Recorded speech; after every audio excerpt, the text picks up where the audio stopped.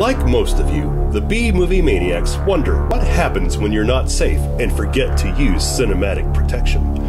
In some cases, you end up with twins, similar movies released in the same year. Other times, you wind up with the love child of Pulgasari and Josh Kirby Time Warrior, as is the case for our movie tonight.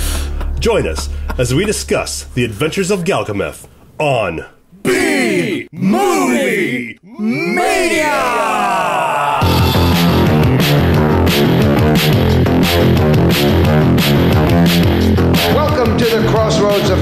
the bastion of the bizarre, the place where low budgets meet high praise. Yes, it's B movie mania. And now, B movie maniacs, here are your hosts, the cream of the crap, the connoisseurs of cult, your cinematic creepy uncles, Mike Hayes, Jason Huls, and crazy Chris Hutson. Ah, all right. Uh, hello and welcome to B Movie Mania. I'm your host this evening, Crazy Chris Hutson, and with me tonight are a couple blackbirds, Michael Hayes Caca. wow. and Jason Holes. Blackbird, Blackbird, Blackbird. What a fucking weird thing to have in that movie, huh? God. Oh boy. So tonight's movie is The Adventures of Galgameth. It's uh, it's a charming kids movie from 1996. The screenplay was written by Michael Angeli. I guess I hope I'm pronouncing that right, but you might recognize that if you've uh, if you've read up. You might recognize his name if you've read up on the IMDb entries for Battlestar Galactica. I guess he was pretty. He wrote a few episodes of that and was a big producer behind the the scenes. And The original. the ori- no, no, the remake. I should have said No. the remake. Yeah, yeah. He worked on the remake. The remake? Really? yeah, yeah. The yeah, he was like a co-producer or something. Wrote several episodes. How is that hard to believe? Huh. You've seen The Adventures of Galgameth, right? It's a it's a dark political thriller, just like Battlestar Galactica is. Uh, yeah, I guess I shouldn't be surprised, but I, I somehow am. But uh, but he was working off a story by Simon Sheen, and I want to talk about Simon Sheen for a moment. Uh, I don't know if you guys are very familiar with uh, Mr. Sheen, but he didn't really have a very long career in Hollywood. Oh oh yeah, Tiger Blood, right? like Yeah, maybe he's winning. That's I know he- is that it? I know he did the Three Ninjas movies for Kid Ninjas or something. I don't know. I'm not really a big fan of those, but uh, I think he's got a pretty good explanation for why he didn't have a very long career. Uh, it's basically because it didn't even really start until he escaped North Korea. Oh, so Wait a yeah, minute. So Simon Sheen is really South Korean filmmaker Shin Sang Ok. He had to change it, otherwise Kim Jong Yeah. would be uh, pissy. Be out to get him. Yeah, so he's the guy that was kidnapped by Kim Jong Il and forced to make movies for the godless communists.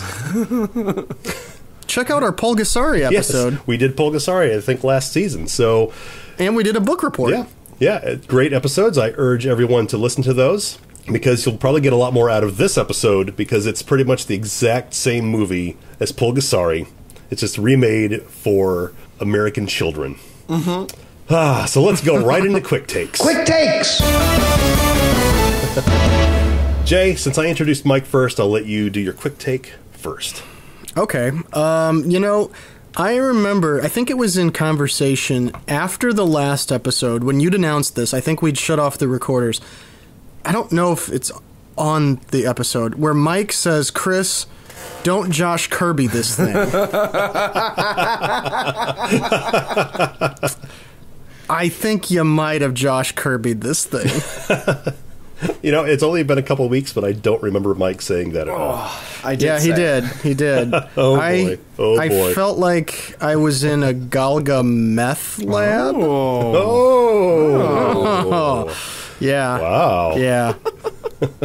Mike, how do you feel about this movie? I, I feel like like like someone beat the shit out of a Teenage Mutant Ninja Turtles movie, and then and then this is what happened. I don't know. That's not really a, a quick take. I don't know. It's That's pretty quick. it's it's a it's a rubber suit thing, and it's fucking. It just looks like someone scrubbed the paint off of a traditional. Oh, fuck me! I It's can't even very talk. true. Yeah, I don't know, Chris, what'd you I don't know, think? guys. Yeah. Um, you know, it was. I really wish I had a chance to uh, go back and watch Pulgasari after I watched this one because I recognized a few of the scenes. Like he threw in some of the big events from Pulgasari. so it's definitely the same movie. Just.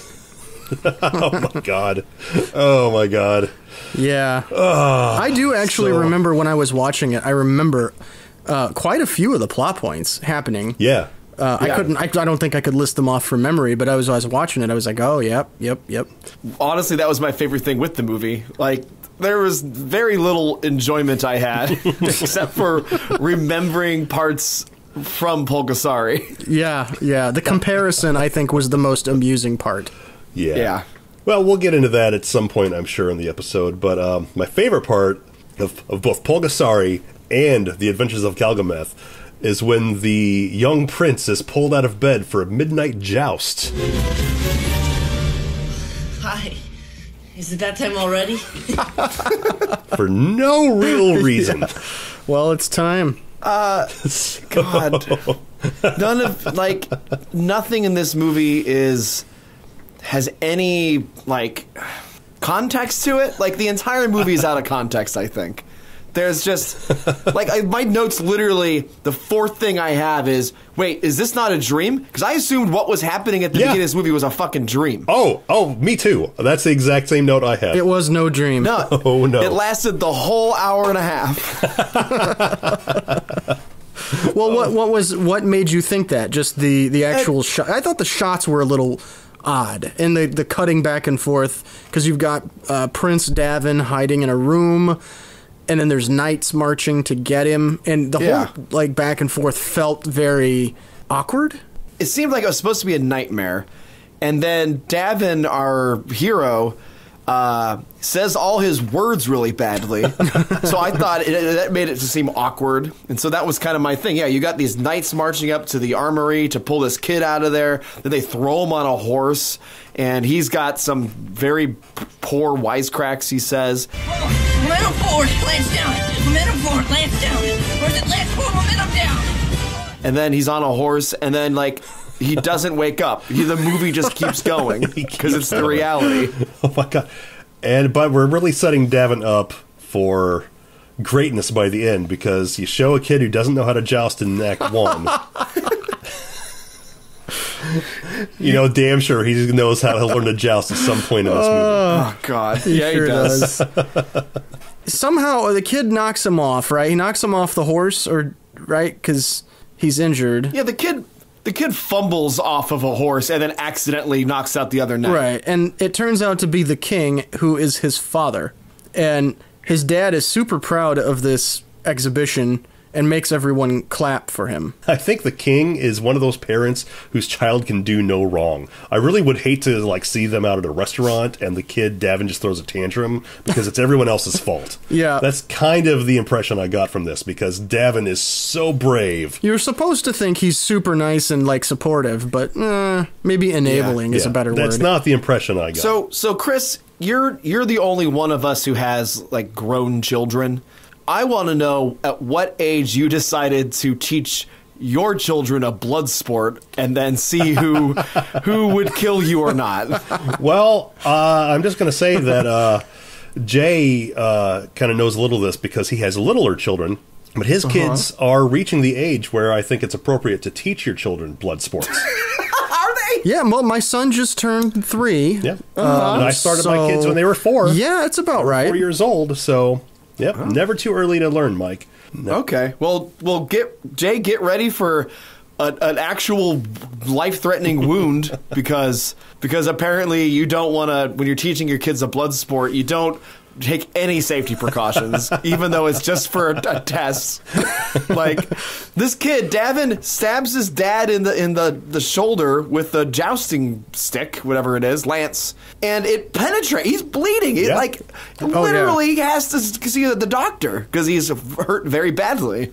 You mean LL Cool J, Yes, the obvious villain of the film? the Black oh, Knight. Well, Jay, it's funny that you called uh, the king an enabler because he enables LL Cool J to poison the king, setting up the, the getting the king out of the way and, And- setting up the real conflict in this story. Good evening, my lord. I pray your injury a swift passing. Don't tell me you're treating me. Son, you're standing on my favorite toes. Uh, and I'm so glad we're just getting through this because man, it, it it's it's slow. But just so people actually know what we're talking about, the villain who's clearly the villain. Yeah. Like, you could he just may as well have written villain across the front of his shirt. Yes, Um, his name is LL, so I will refer to him as LL Cool J. yes. It's a great name. It is a a, what, a name that sounds like it's a real name. It does. And I got to say, though, uh, after the king's funeral, LL kindly takes Davin, now King Davin, under his wing, saying he will teach the young boy how to rule like his father. But because he's the obvious villain, he promptly creates a child army and kicks all the dogs out of the castle. Yeah, what? Yeah. is- what is this with this weird plot or this weird characteristic where they we've got this villain and he's doing stuff. He's saying he wants to keep slaves and he thinks, you know, all this stuff that he wants. But then he also just kicks a dog in the nuts. Like it's just By order of King Davin, all dogs shall be turned out of the castle immediately. He carries cats around. I think he's a he's a cat villain. So he Yeah. really doesn't like dogs. You want to know how that makes sense? how?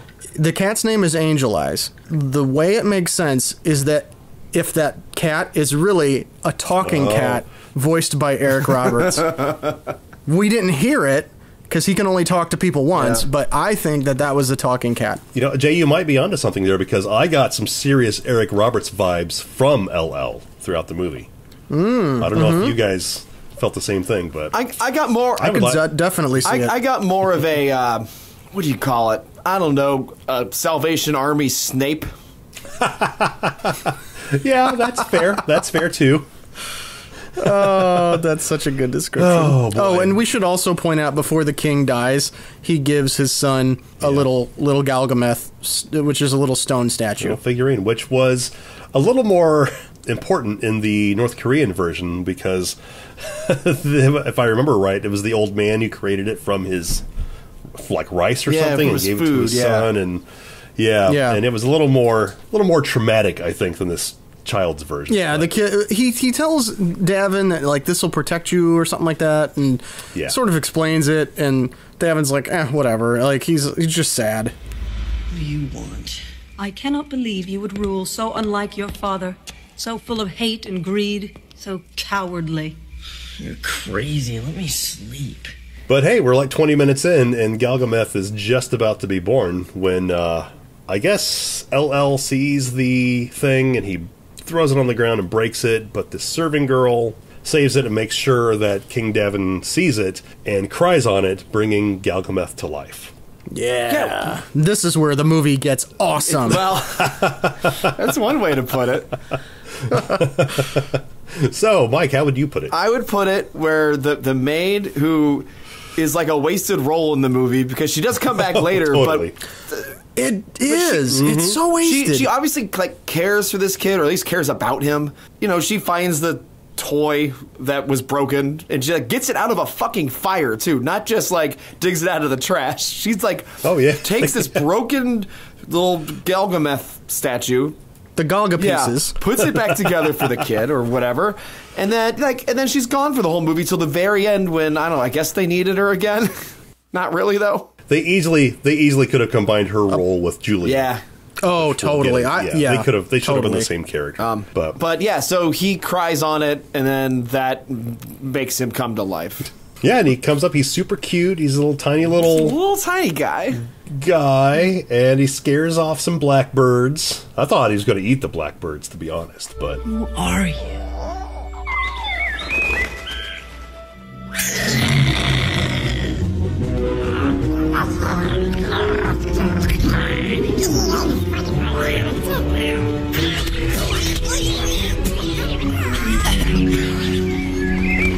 Well, he he beat the shit out of him. I thought the Blackbird stomped him. Whoa. It's it happens off screen. It's true. It does happen off screen. But but the blackbirds are okay. You see them fly off. Galgameth just scared the shit out of them. I guess. Can I say another way this movie would be so much better? so much better. Is little Galgi as he's running around like and, and they do call him Galgi through most of the movie. Oh yes. Little Gal- Galgi for a minute there kind of reminded me of Bad Milo. And how much cooler this movie would be combined with the mythology of Bad Milo. So wait. So so you're suggesting that maybe this kid would have had to like shit out Galgi yes. And Galgi would keep getting bigger. and Galgi, but yeah, it doesn't. And Milo always goes back up the butt, right? So Right. Galgi would have to try to return home, but it keeps getting bigger. Oh, and Just and imagine the ridges. possibilities. Oh, Oh. my goodness! I'm not sure I like where this conversation is going, so I'm going to continue along with the plot. Hold on, look, I'm gonna look up. I need to look up a website for this real quick.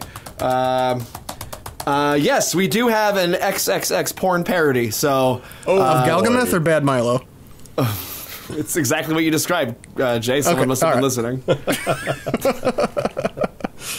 So at some point, uh, King Davin realizes just what is happening. That LL is kind of he's totally in charge.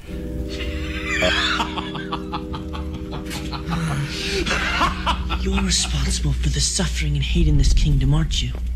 Of course. How else could I conquer the Lupanians? You don't expect me to depend on your jousting skills, uh, do Yeah, LL catches him and imprisons him, I guess.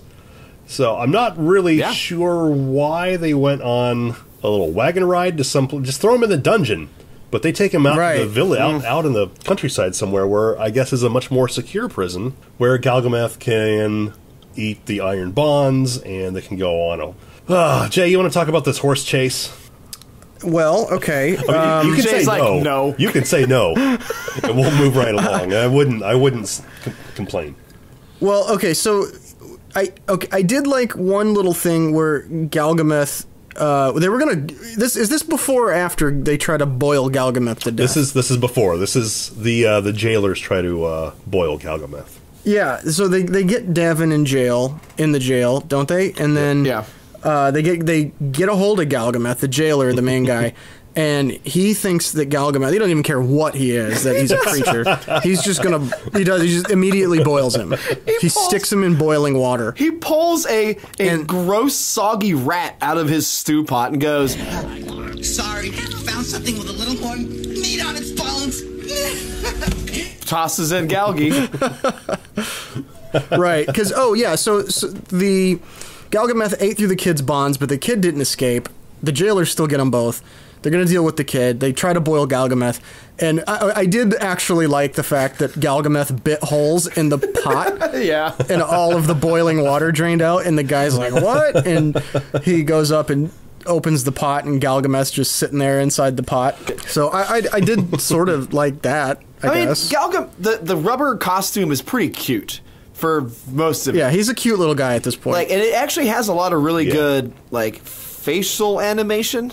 I'd say like the eyebrows and stuff Yeah. do a lot of stuff. Yeah, there's a lot of articulation in That's the face. the words. So yeah, they spent some money on this Yeah. Yeah. costume. It was It's pretty cute. not cheap. And then oh, so the the chase, right? The the jailer and the guards chase them. They escape easily. Oh yeah, And the archers shoot the bag that that uh, Galgameth is hiding in, and little Galgi eats the arrowheads. and he, he grows in size. This is one of the first times, first or second time, you see him really grow in size. Yeah. Um, he's still fairly small. yeah. He's like And, the, um, size of a child at this point. I'd say. Yeah, like, he eats some arrows. He eats a sword, and uh, here's something that I didn't enjoy about this: Galgi takes the arrows for Davin, and Davin has the audacity to say, Thank you.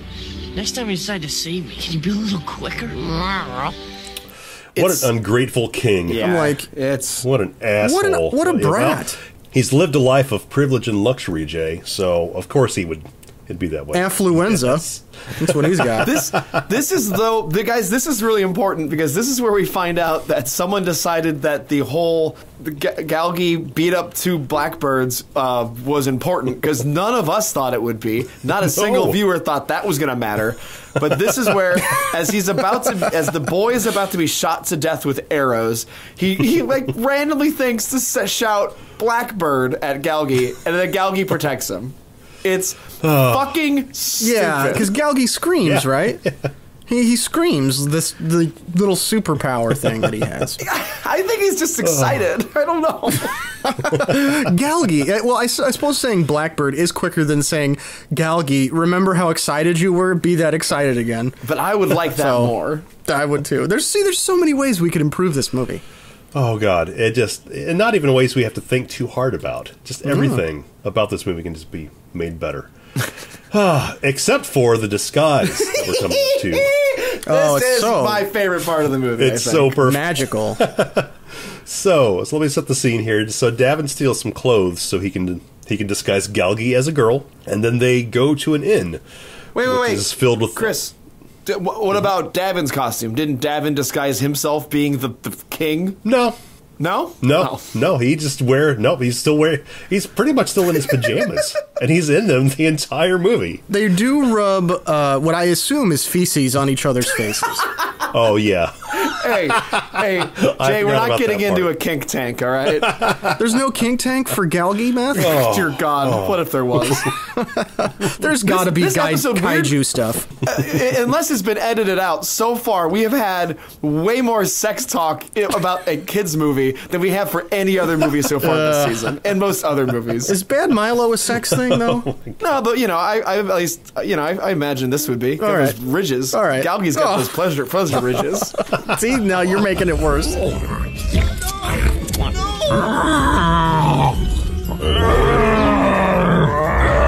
Wait, can okay? I'm, I'm gonna bring this way back down to earth because when they go into the bar here and they meet Julia, the serving girl, and she starts talking. Everybody hates the king, and Davin's keeping a low profile.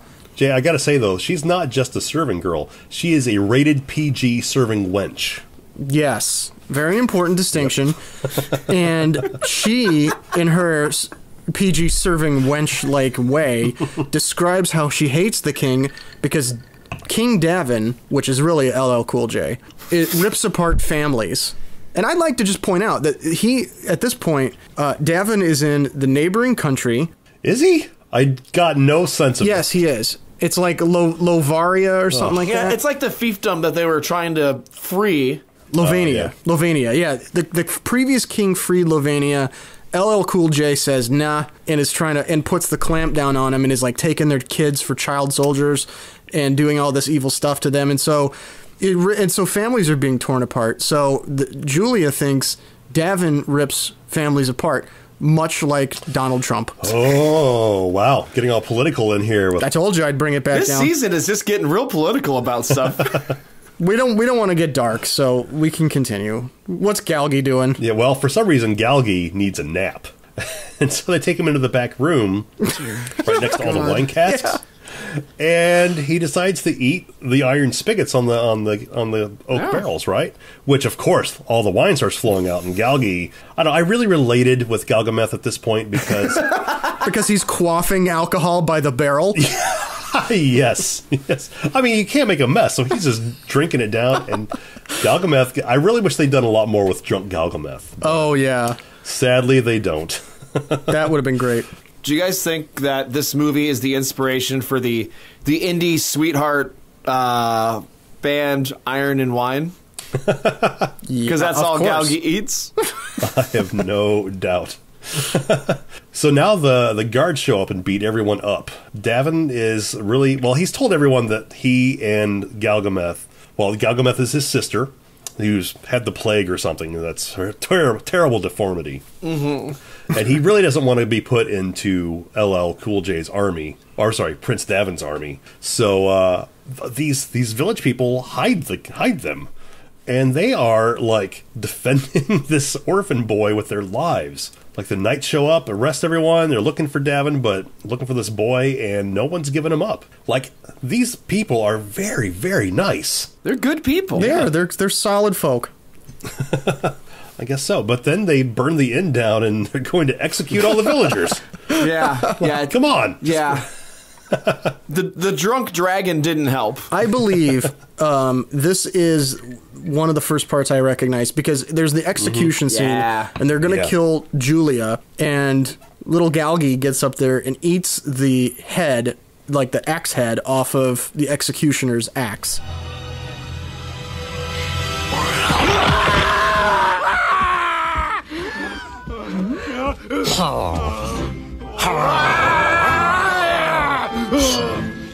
in the name of the four seas is that? My God! Kill it! which prompts Davin to say, "He's crazy, but he's mine." But but yeah, that's that's a direct reference to the first movie Yeah. or the original. Yeah. Bulgasari. Yeah. Except I, th- I like that it was how it was done practically in North Korea. It's just a, ter- it's just a terrible '90s CG effect in this one. For no reason. Oh, for no reason. There's no reason. reason. They've got a really good looking articulated rubber suit. And, and they have the ability to tur- turn the camera away. They could like cut to something else and just have there be a bite out of it. But instead, instead, someone opened up MS Paint, drew drew a circle like an oval, put it over his mouth, and then squished it down to make it look like he bit it. That's what they did over a very good-looking articulated rubber suit. They used MS fuck paint.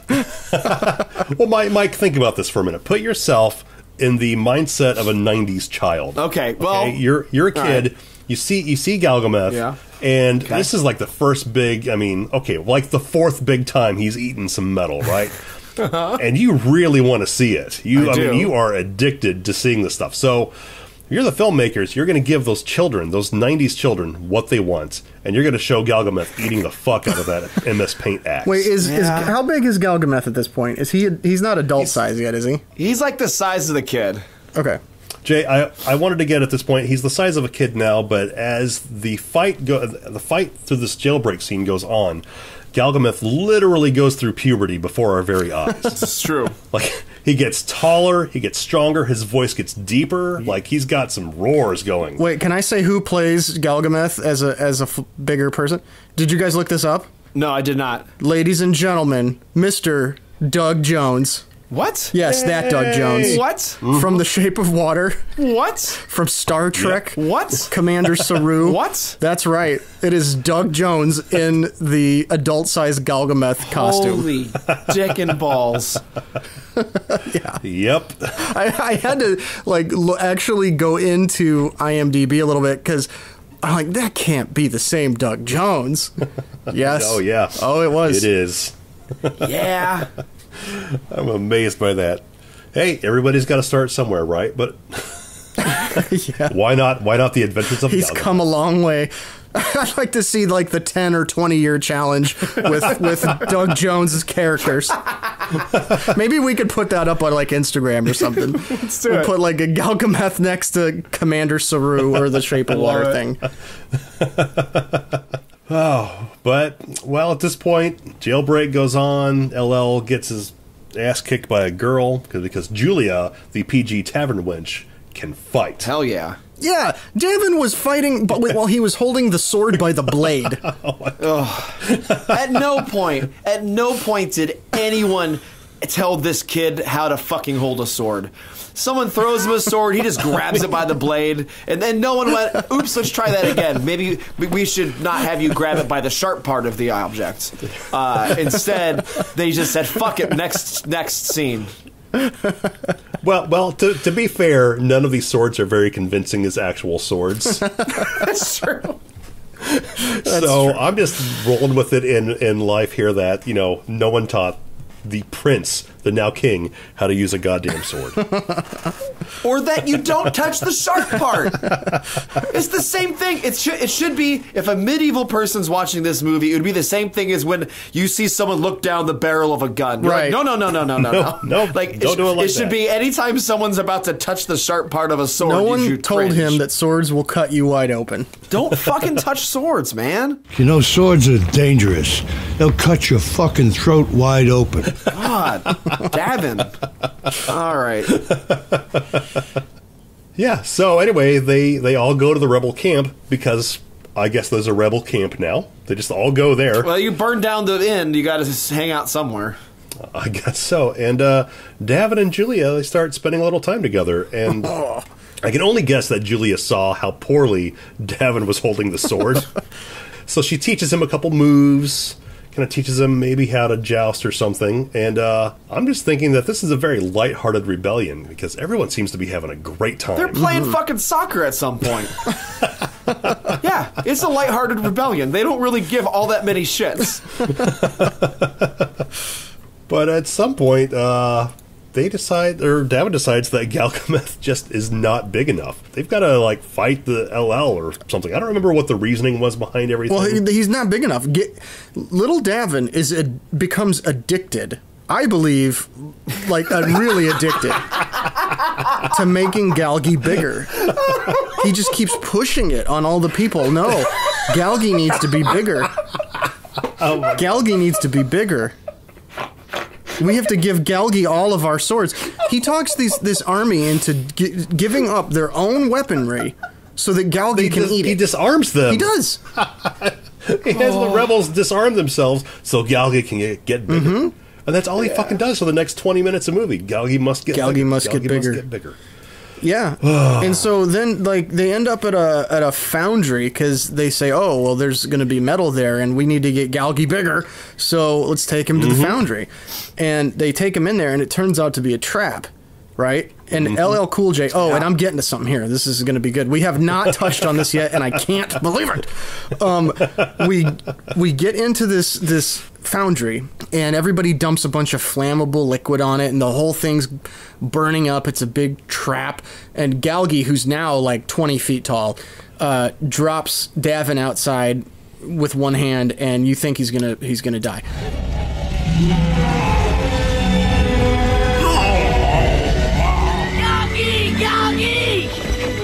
The prisoners. What happens here, okay, is we haven't mentioned this character. LL has this guy Oh, named yeah. Templeton. Yeah. Templeton is actor Time Winters, Oh, yeah. who was Yeah, in Josh Kirby. Dino Warriors slash Human Yep. Pets. Fuck. Fuck you, seriously? Yeah, Yep. he's he. Time Winters is like uh, LL's sort of right hand man, getting things done. Yeah. Well, no, I remember him in this movie. I don't remember which character he might have been in Josh Kirby. He's a blacksmith. I think he was the blacksmith. in Oh, Josh, okay, so he Josh does a lot of yeah. stuff with metal. I get you. Yeah, Yeah, I, I, I saw his name in the credits and I went, holy shit, and had to double check. I looked it up. Yeah. it's Time Winters. Like you can never forget a name like Time no, Winters. No, you can't. This is a fantastic Oh, name. my God. And so, in a weird twist, uh, Time Winters decides to free uh, Davin and says, "Look, run to another country and live there, or LL's going to kill you." Yeah, yeah. Which Yeah. I thought was a nice move. Um, our foundry explodes, but Galgi is alive, and now he looks like serious hardcore. like he looks like a cr- uh, like a rave turned into a creature. He's got these lines, these glowing lava lines all over his body, burning It's- through him. it's dope. oh Which- man, let me tell you, I was excited. This is the part where the movie starts really. Yeah, this is where awesome. they finally decide. Oh, let's let's get into this shit. None of this, with no, no more soccer at the camp. Mm. My No. notes. I would just like to read this to you. When this happens, I got very excited because this this mirrors Pulgasari as well. There's the same scene in Pulgasari where they capture him and light the cage on fire, and then he becomes a hot metal dragon. You know, dragon. But my, I, I- I got to make sure I pronounce this right. I know I wrote it myself, but.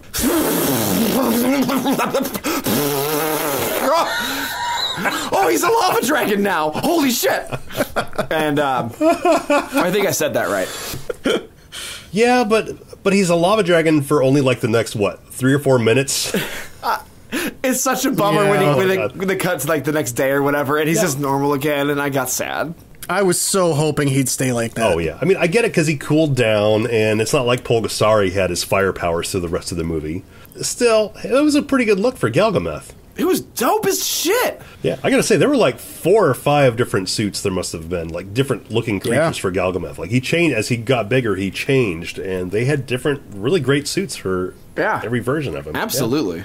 And then we hit the old bury Galgameth scene. Yeah. Long after this, I think this is I think this is actually where they where Davin disarms uh, Galgi and Galgameth must get bigger. Yeah, I don't remember. I don't remember so much about this movie. It's just, it was just all this like scene, scene, scene with no real connection between them. I could tell you exactly what happens here. All right. I can get us here. So this is where we find out that LL Cool J is building a giant cannon. Oh, which I wanted to get into that. I wanted to get into that real quick because now I, it's going to sound. I really hope this doesn't sound too offensive. I don't mean it offensively, Oh but God, don't LL say it. But But LL has an army of Chinamen to create his cannon. yes, um, It's just like one guy. one guy Isn't it that's just like One one? guy. I don't One even guy. was he even really Oriental? I, I really honestly I, I don't remember. It's like his wise man. Uh, really, he's so so stereo. I, thought it was so tell. stereotyp- stereotypical. oh yeah. it was just like this, you know, hat, the outfits. It was terrible. He's a mystic. It's supposed to be like the wizard. He's his wizard, Yeah, effectively. The whole thing it can like nuke an entire village Yeah, in one shot. It's like the fucking Death Star. yeah. yeah, it's the fucking Death Star. It, it is literally a Death Star, except so the first time they test it, they blow up an entire village, one shot, and it's a cool effect. Like there's a huge explosion out of the mouth of this cannon. It's fucking cool, and it blows up this whole village. And then every other time that it is shot, uh, it, it does just a little boom. No. like it's not. It doesn't blow up a village ever again. My God. It's come back. Fire that cannon.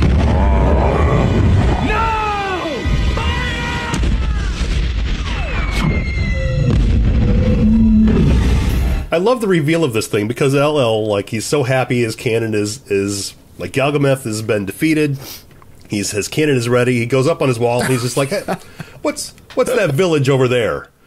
And then just just blow the shit out of it. Yeah, there was some uh, funny lines there where the guy's like, "Oh, that's like, Yeah. you know, whatever village," and he's like, "No, it was whatever village," and it's gone.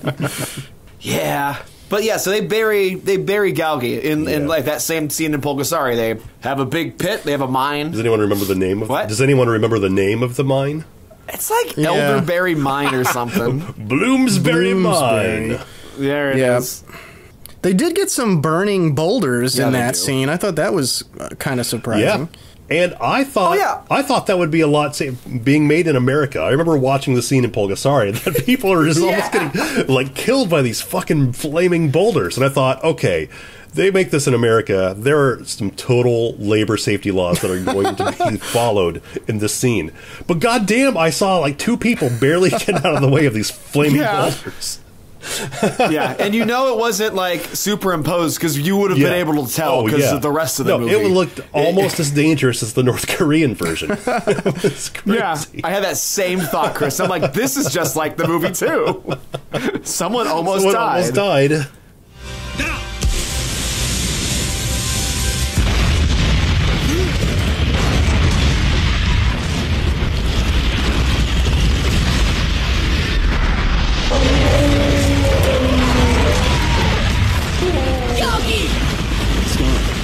Okay, so there's this like scribe or something earlier on in the movie that you see, and he somehow escapes from. He thinks Davin is an is a bad guy, but he somehow escapes before LL can execute him or whatever. But the rebels capture him, and he rec- and they're going to hang him as a spy. But he recognizes Davin as the king, so now the rebels are like, "Fuck, we got to kill the king too." This is the same guy, even though we've been fighting against this other guy the whole time. The best line in the movie is. Oh, this I know scene. what it is. I bet I know what it is. So, so, so the guy, the guy, the scribe is like, "That's the that's the king there," and then and then some other guy part of the rebellion goes, There! There he is! liar. That's a homeless boy. the way he says it is so fucking good. That's not the king, that's a homeless boy. it's so fucking good. See, I thought you were referring to another line that happens a couple minutes later when oh. I guess Davin falls off the horse or whatever and isn't actually hanged, but and he runs off to try. If no one else is going to save Galgameth from this this pit, Davin is just going to dig him up himself. But there are some guards there who come in. They're trying to arrest Davin for they just think he's another homeless boy, right? this is the line I was talking about. Yeah, Oh, is it? but then the but then the rebels come and save him. Blah blah blah blah blah. But they let one of the one of the knights go to report back because Davin has a plan, and so he lets one of the knights go back to to LL. But before he does that, he asks he asks Davin if he's ever heard of a You're cannon. all dead because LL's got a cannon. Ever hear of a cannon? An enormous gun, powerful enough to reach this mine and blow you all apart with enormous metal balls. go ahead, and he says, "Go ahead and laugh." Oh my god! Uh, all right, Jay. Though the line I was talking about was when when uh, Davin goes to unbury Galgi from the pit, and it's it right when the guards show up to arrest him. They just go, Drop your rocks, boy. By order of His Highness and again, it's just something like Kelly said. It. I don't know. It hit me. Oh, well, I, I hope the listener enjoyed all three of those Which short little really clips. probably aren't funny in, in any other context. Probably not. No. No. Well, enormous metal balls is funny in every context. Yeah, that's But- that's the funniest one actually. Yeah. So, so they let the guard go, and the guard is sure to tell LL that they're at Bloomsbury Mine. So, of course, LL wants to blow up Bloomsbury Mine. Yeah. But it's just a trick to free Galgameth. So, the uh, apparently they've traded in the nuclear cannonballs for something a little lower powered. Um, so it's enough to blow up the mine, but let Galgameth rise from his grave. But only after Davin cr- cries, Blackbird. Blackbird. Blackbird. Blackbird. Blackbird. Blackbird. Blackbird. Blackbird. Blackbird. What the hell is Blackbird? Blackbird. Blackbird. Ugh. Again with the blackbird. So, are we to assume that the the explosion didn't resurrect the monster, but what it was was the the Tinkerbell style chanting of Blackbird over and over? he couldn't just say blackbird when it's buried because the uh, the the ground would absorb the sound and that cry of blackbird would never reach Galgameth's ears. But with the cannon, it's loosened enough on the dirt that he can yell down to Galgameth, and Oh, Blackbird yeah, makes him rise again. of course, that's how it, how it That makes a lot of sense, Chris. I'm glad. I'm glad. I'm glad you Uh. thought this through. And you know, once once the whole thing like doesn't start, the stuff starts going bad for LL. This is also about the point in the movie where all of the swearing starts, and uh, I don't appreciate that for a children's film. Wait, were there cusses? What did they say? Oh I don't remember yeah, any cusses. at least two. At least Oh, two. yeah. I wrote them down each time because when the cannon jams, uh, LL says "damn it," which you know what, man. Hey, if I'm going to show my children this, Oh, keep yeah? that potty mouth out of my galgi. You've got to have something to keep the parents' interest, Jay, and a little swear word used judiciously can help keep your parents' attention. Uh, well, yeah, it'll keep their attention. I'm not sure for the right reasons, but and and and if you're trying to get people's attention, this point in the movie is not the time to start.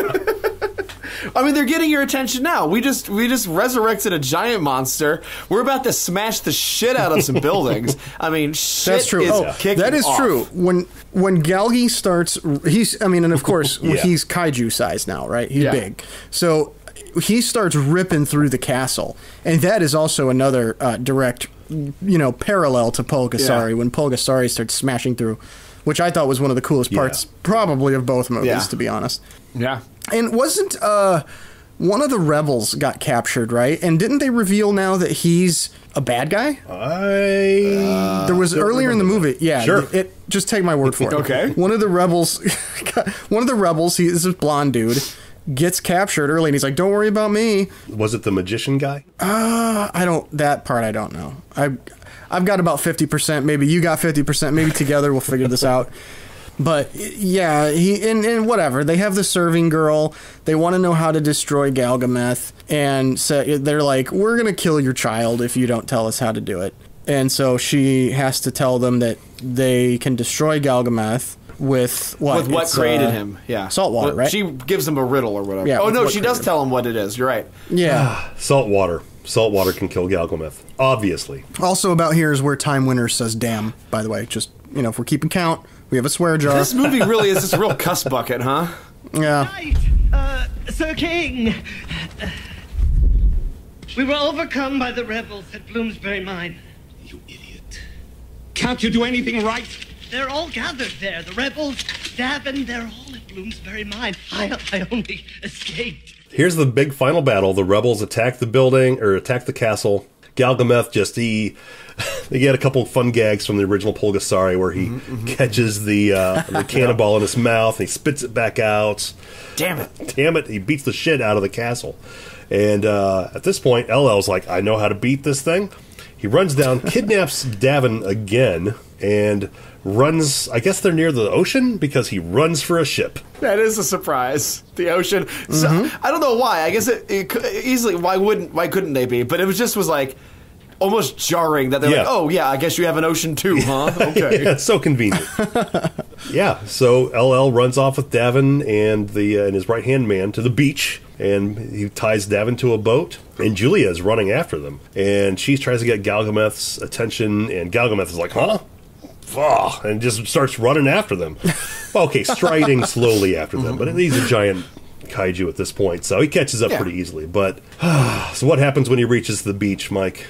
When when Galgi reaches the beach and sees and sees his sweet sweet boy just tied up to a little rowboat out there. it's a little rowboat. Yeah. Uh, well, Galgi Galgi tries to go for him. He he step, puts a foot in the water, and uh, he don't do so good. It's a bit uh, abrasive to his metal body. I guess I guess he's made of metal, also, guys. He doesn't look like it. He looks like he's flesh. He looks like a Ninja Turtle with the paint rubbed off. Well, not anymore. Yeah. Now he's huge and he has horns and stuff. Well, I have to say, this Yeah. is the only thing I really liked more about this movie than Pulgasari. Because in Pulgasari, they don't quite know how to, like, you've got this giant monster, and they're not really quite sure how to wrap it up. Because clearly, no giant monsters live in modern day North Korea. So they've got to kill them off somehow, right? Yeah. So in this one, Galgameth sees LL set fire to Davin's little rowboat, and Galgameth, little Galgi, big Galgi now, he just musters up his courage, knowing he's got to save his little boy. so he strides into the water, and it's very, very hard on Galgameth, but he Yeah. is trying to reach his little boy. Yeah, I mean, in this one they go for the feels. In in the in the Yeah. Pulgasari, it's all about the evils of capitalism. So slightly different things they're going for there.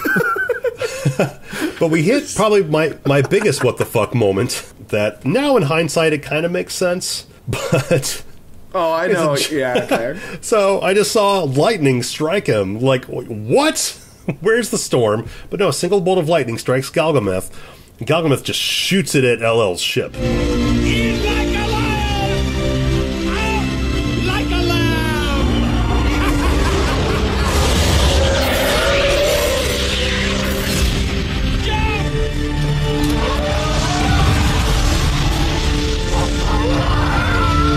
yeah. fucking just Emperor Palpatine's just just fucking just Nails that ship.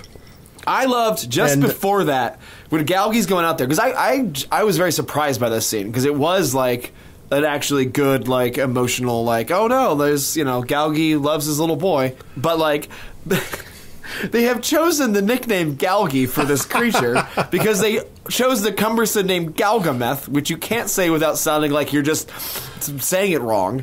And so they call him affectionately Galgi. So the little boy is tied up to a, a mast on a sailboat, and there's fire around him, and he's shouting at Galgi. He's going, "No, Galgi, no, Galgi, go back!" And it is so fucking funny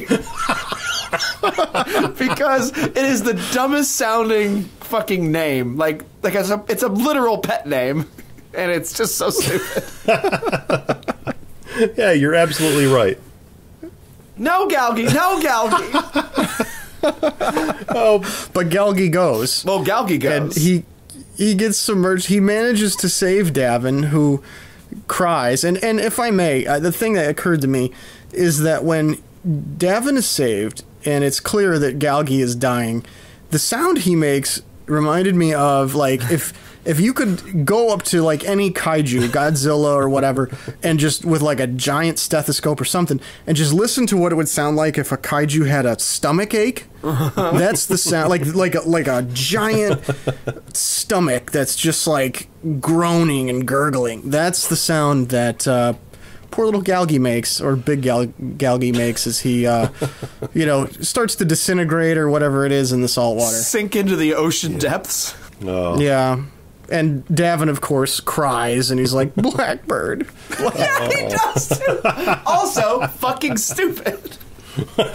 like in an, I say that in an affectionate way. Just like it's just Blackbird. why did why did you choose this as a screenwriter? Why is this a thing?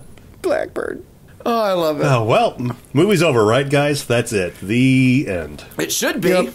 But then we cut to morning. Just there's morning now. Everyone's washed up on the beach, and we've got to we've got to make that jousting scene earlier really pay off. God.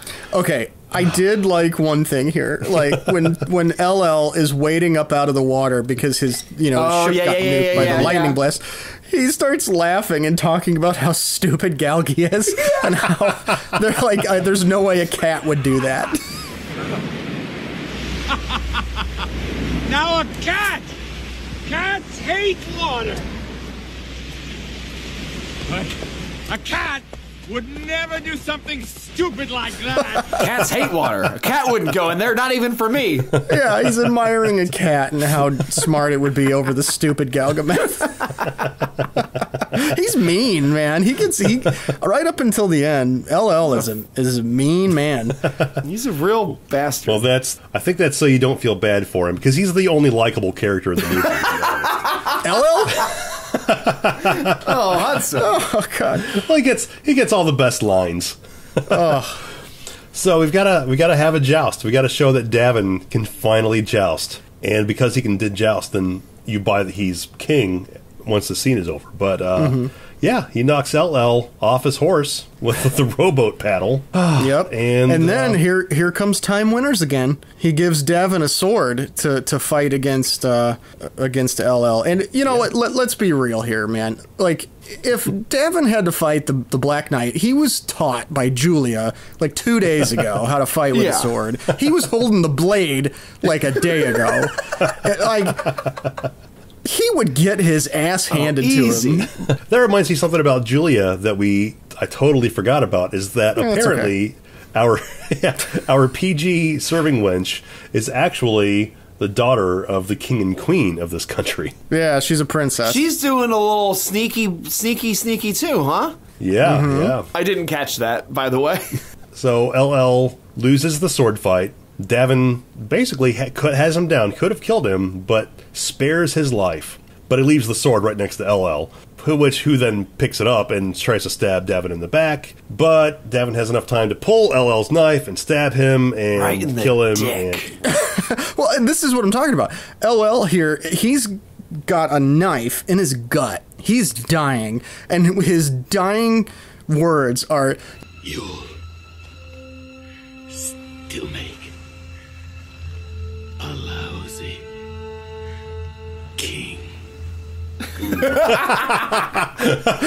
and dies. And oh, and then after that, right? So everything is hunky dory again. And Davin goes up to Time Winters and offers him a chance to join up. And Time is like, nah, and just rides off a frame, and that's it. He's gone.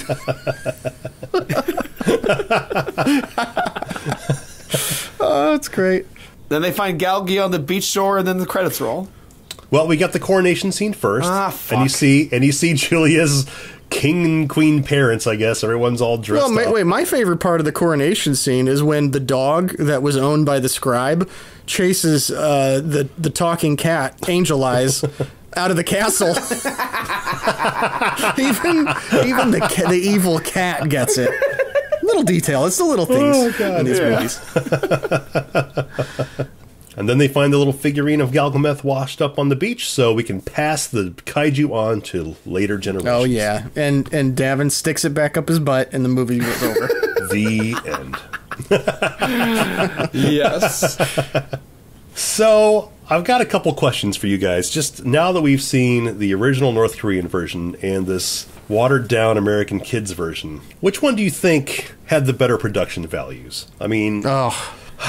You've got this, you know, lower budget North Korean version, but a and higher budget American version. But I don't know, there was a lot I liked way better from the North Korean version. Oh yeah. Oh, I prefer for sure. Bulbasauri. Easy. Yeah. well, yeah. okay, yeah. I think Pulgasari is more of just an impressive movie, but despite the fact that it didn't have as big of a budget, Well, you know, you've got the the slave labor too of all those North Korean peasants. that'll do it. I mean, yeah. that'll that'll save you some cash. They put their literal blood and sweat into that one. yes, so they did.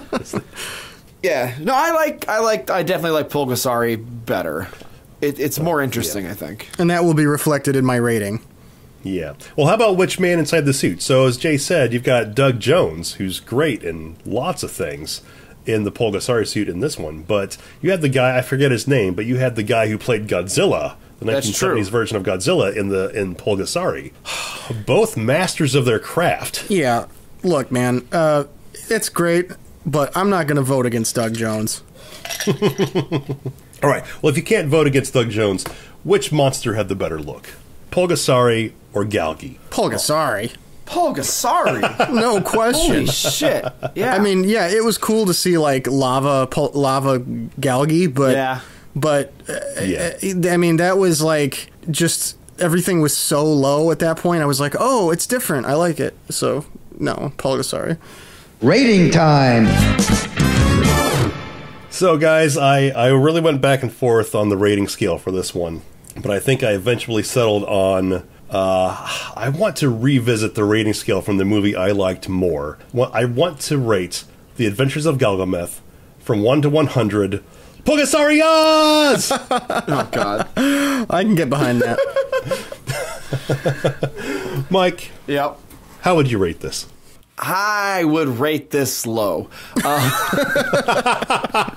um, uh, the, the the problem this movie had, like, there was some fun bits in this, and it's a kids movie, and I do like a, a good bad kids movie. I mean, that's one of my my my guilty pleasures is is that, but.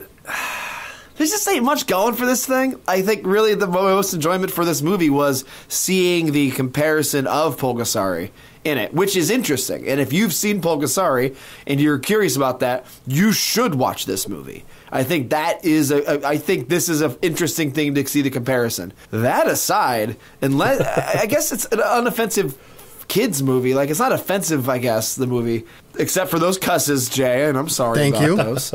But but I think, you know, maybe a kid would like this movie. I bet you there's people who saw this as a kid and have fond memories of it. I'm not one of them. But like eight year old, eight year olds though. I'm, yeah, yeah, seriously, yeah, like- yeah, yeah. Oh, totally. And then, and like, I think if, if you know, you gotta throw something on, and you're gonna you have YouTube up, throw it on for a kid, fine. But in the in the end, it's it's just not interesting. I don't think it's anything anyone needs to watch. There's nothing crazy in it.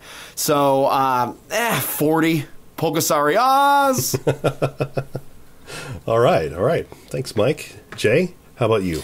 Yeah, you know, I don't need to go on and on about this. The, my the f- first thing I thought when I started watching this is like, this is suspiciously close in production value and just look to like your Josh Kirby's. so if you like Josh Kirby, yeah, there's a pretty good chance you're probably gonna like this. Um, it, it's like Pulgasari, but stripping out pretty much everything that makes it interesting. Uh, Mike, would you say forty? Yeah. That's that's pretty pretty low. Um, yeah, I, I don't see even for people who think it's interesting, and you know, you mentioned, oh, hey, check out the compare. You know, you may watch it to compare. Maybe just listen to this podcast instead of watching it. It'll save you some time. So yeah, I'm gonna go thirty-seven. Pulgasarias. Thank you, Jay. Chris, you can't be very much higher than us on this. no, I agree with everything you guys said, and I really mainly picked this because I wanted to see the comparison between Galgameth and Pulgasari. Okay, all right, that's so that's fair. literally the only reason I picked it. Um, I totally get. I watching it, I was so convinced that were some of the people who made Josh Kirby behind this movie because it looks almost exactly. I don't know something about the mid '90s straight to video Yeah. kids movies has have the same look and feel, and I I honestly sort of thought that maybe Dav, the actor who played Davin was a Josh Kirby lookalike. It was close, It was very yeah. close, very close. But yeah, like you guys said, there were some, there were a few fun lines, but nothing crazy in the movie, and it's really, I really just watched it for the comparison. And uh, so I am, yeah, I'm not going to get much higher than you guys. So I am going to rate this uh, 35 Pulgasarias, which I don't think is really higher at all.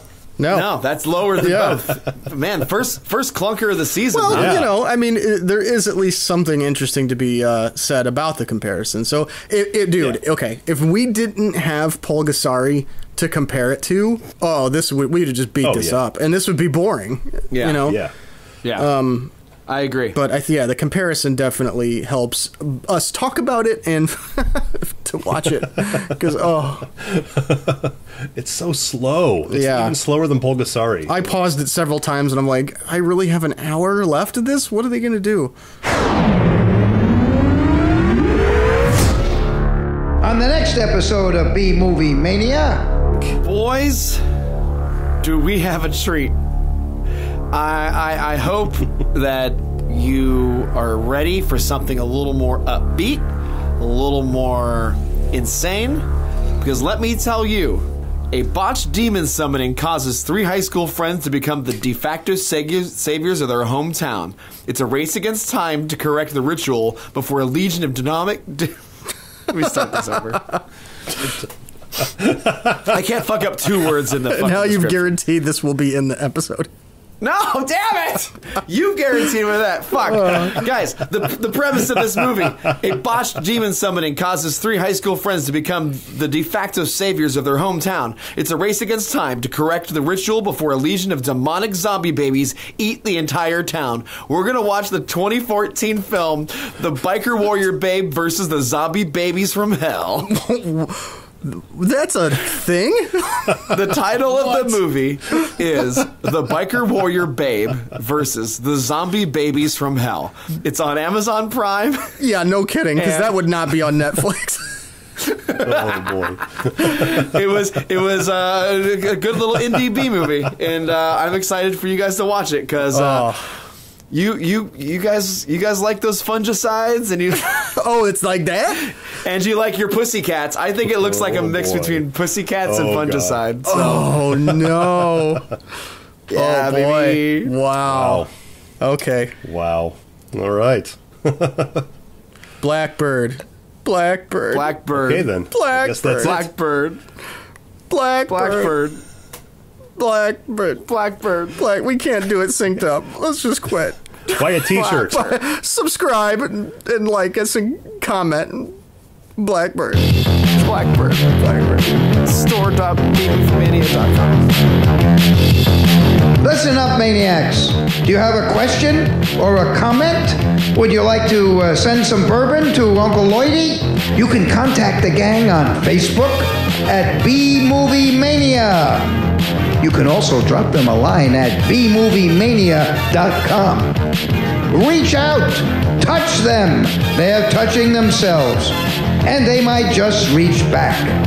I'm Lloyd Kaufman saying, see you next time on B Movie Mania. Woohoo!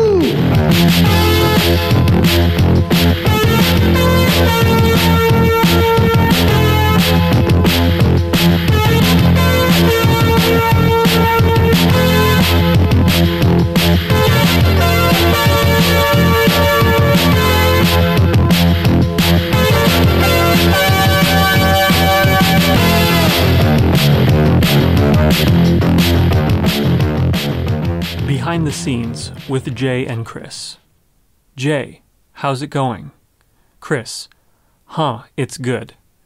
Maybe not a classic, but damned if I'm not having fun listening as I edit. I mean, I'm also drunk. Jay, Jokes aren't solid? Chris. Oh no, the jokes are pretty good. You can tell we're having a really fun time talking about it. I don't know. I would say this is a fun one. J. I'm gonna do the image now. Chris. I think it's a solid app. No clue what I'm gonna do for the stinger though. J. Eh, just put in a galgy sound. Chris. Yeah, that's my fallback. Maybe with the bleeps from the teaser. LOL. J. Just read this chunk of the conversation, record it, then stick that at the end. It's meta. Chris. Ha ha ha, done. I'll see if Paul will read it. If he does, great. If not, I'll put galgy sounds in. Well, I fucking read it, so there you go.